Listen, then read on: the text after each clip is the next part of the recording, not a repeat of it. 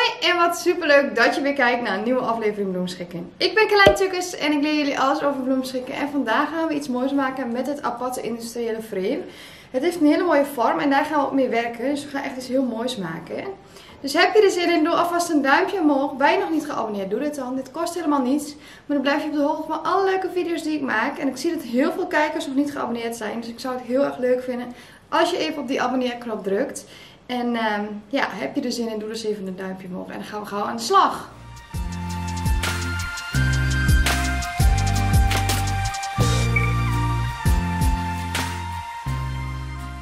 Wil je dit pakket nu bestellen? Hieronder in de beschrijving vind je een linkje waar je het complete pakket kan bestellen. Of ga naar www.uwonlinebloemist.nl Daar vind je het onderkopje cursuspakketten. Um, en dan kan je er zelf mee aan de slag gaan. We verzenden door heel Nederland, België en Duitsland. Dus waar je ook woont, we komen gewoon naar je toe. En uh, ja, we gaan gauw beginnen. Het is een heel mooi frame. Um, je kan hier normaal gesproken allerlei dingetjes opzetten, dat is heel leuk. Maar het, um, ja, het, dit gedeelte zit er uh, los in, dus dat gaan we even uithalen. Die mag je gewoon aan de kant leggen en dan kun je misschien later nog weer gebruiken. Maar daarvoor in de plaats leg ik wel een waterschaaltje en daarop een bloementaartje. En die heeft natuurlijk net al die mooie vorm waar we dan mee gaan werken. Allereerst gaan we eventjes het waterschaaltje wegwerken met een heel klein beetje mos.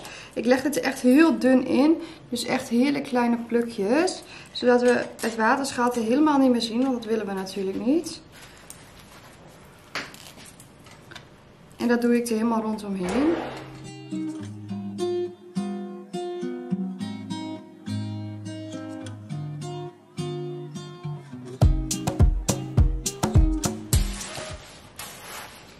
Als je dat hebt gedaan, gaan we met berengras werken. Wat we daarvoor doen, is elk berengrasje apart aan de zijkant erin steken. Zoals je ziet.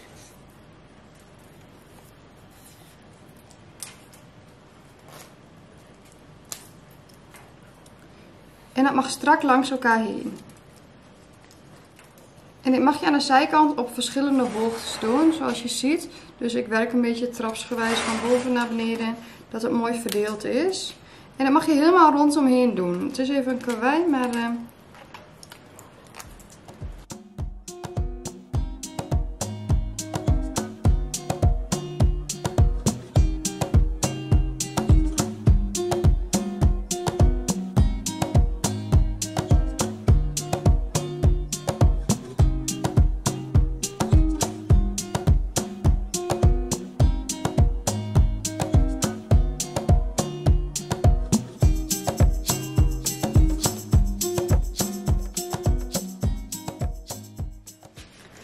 je ziet geeft dit al een heel gaaf effect. En het leuke aan dit stuk is dat je helemaal je eigen draaiing kan geven. En dat je op deze manier heel veel verschillende stukken kan maken. Wat je namelijk kan doen met het gras is je kan het naar boven laten lopen. En het hier bovenaan vastmaken.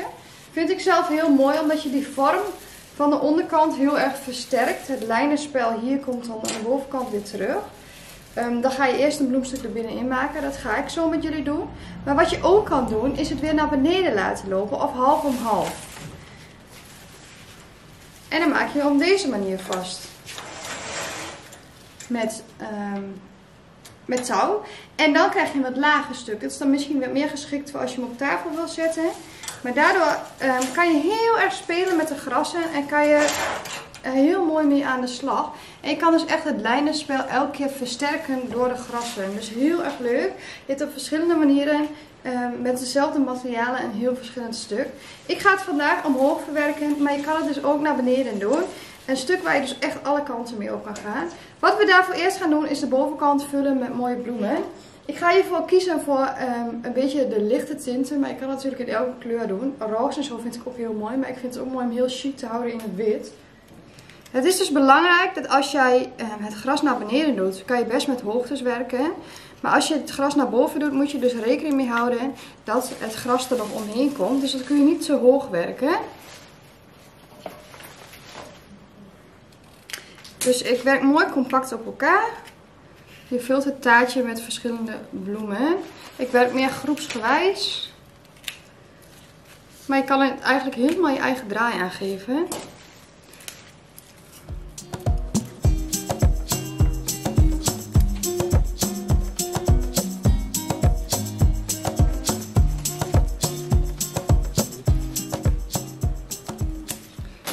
Het wel mooi dat er een klein beetje hoogte in zit. Dit doe ik door een zuidenwindlelie in de hoogte te plaatsen. Het kan soms wat lastige steken zijn, omdat je natuurlijk ehm, de zijkanten hebt gevuld met het berengras. Daardoor is je oase ook al wat gevuld. Ga dan niet doordrukken, maar zoek eventjes een plekje er iets naast. Als je merkt dat dat net in de weg zit. Daarnaast vind ik het ook mooi om wat rust aan te brengen met wat bolmos. Kleine stukjes. Je kunt bolmos gewoon uh, door midden halen, dus je kunt het gewoon breken.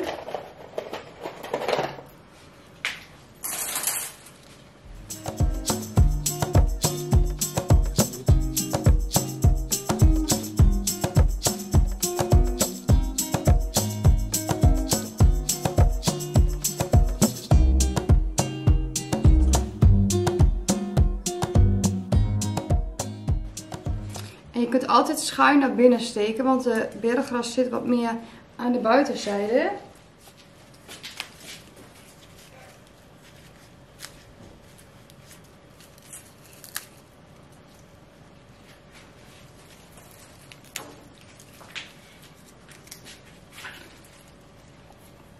Distel vind ik altijd heel mooi in een stuk qua kleur. En ik vind het ook wel mooi om een beetje grijs toe te voegen van de Tilantia. Want dat maakt hem ook extra luxe. Helemaal in combinatie met deze kleur. Een hele mooie groene duizendschoon.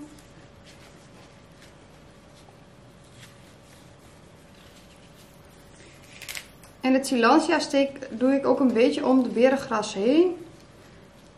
Aan de zijkantjes.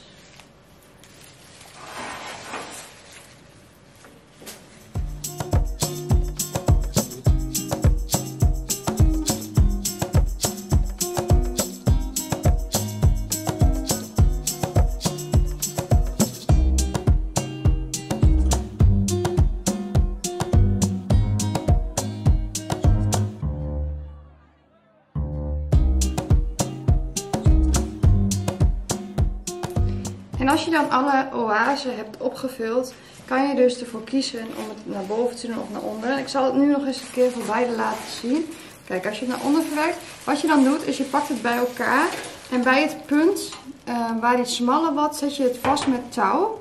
Dit is even een karweitje, omdat je uh, moet zorgen dat alles uh, netjes er omheen zit. Maar als je even voorzichtig een touwtje omheen doet, dan zie je dat je ook nog kunt schuiven met de uh, berengras.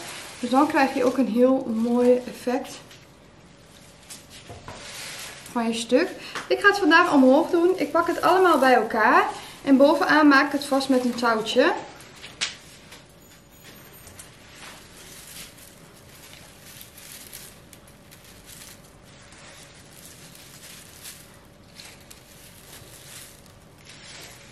En dan krijg je ook gelijk heel veel spanning in je stuk. Omdat je diepte aanbrengt.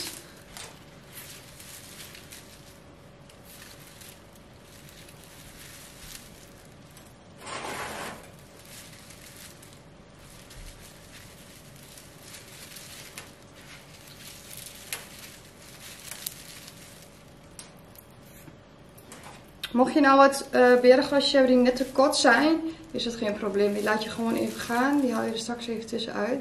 En ik bind even goed met het touw eromheen.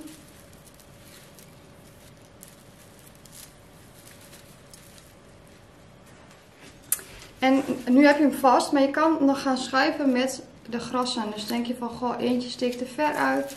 Kan je wat omhoog halen, maar je kan ook wat losser maken.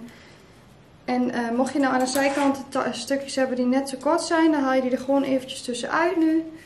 Je kan er ook voor kiezen om die naar beneden te laten lopen. En dan krijg je zo'n dubbele ring. Is ook echt heel erg leuk. Maar ik hou het rustig door die er gewoon uit te halen. En dan kijk je of alles goed valt qua de berengras. Jongens, kijk al wat een plaatje. Is echt super leuk om te zien dat je door diepte zoveel kan creëren.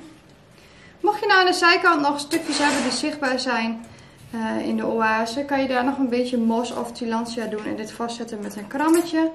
Dit willen we natuurlijk niet zichtbaar hebben.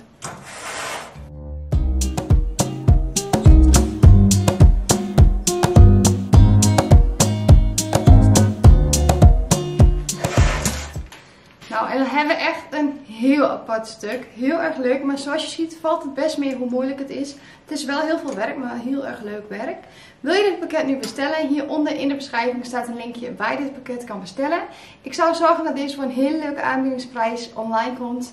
En uh, dan hoop ik dat jullie het weer een leuke video vonden. Vond je het leuk? Doe een duimpje omhoog. Heb je iets gemaakt naar aanleiding van mijn video's? Deel het op Facebook of Instagram. Dan maak je elke maand ongeveer kans op een cadeaubon ter waarde van 15 euro. En jullie hebben nog weer een winnaar van mij te goed. En die komt hier in beeld. Van harte gefeliciteerd. Jij mag contact met ons opnemen. En je hebt een cadeaubon gewonnen ter waarde van 15 euro. Die je vrij kan besteden in onze webshop. Dus dat is natuurlijk super leuk. Ja, ik hoop jullie het leuk vonden. Doe even een duimpje omhoog en laat even een leuke reactie achter. Dat vind ik heel erg leuk om te lezen.